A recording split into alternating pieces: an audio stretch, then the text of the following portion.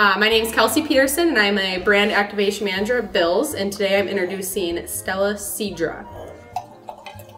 Stella Cidre is a great option for those people who are looking for something gluten-free. If you're looking for something to impress your family with this Christmas, you should definitely bring a case of Stella Cidre.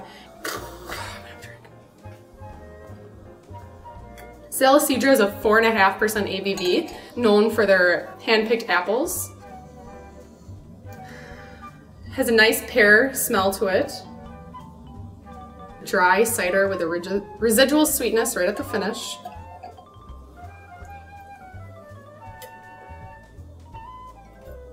Ooh, gotta get some more of this. Pairing with your desserts on Christmas, like a poached pear. Um, another thing that would be really good with it is even just with your regular Christmas ham, I think would be absolutely delicious. How about those apples? Run out and grab some Stella Cidre at your local store today. Oh, it's all gone.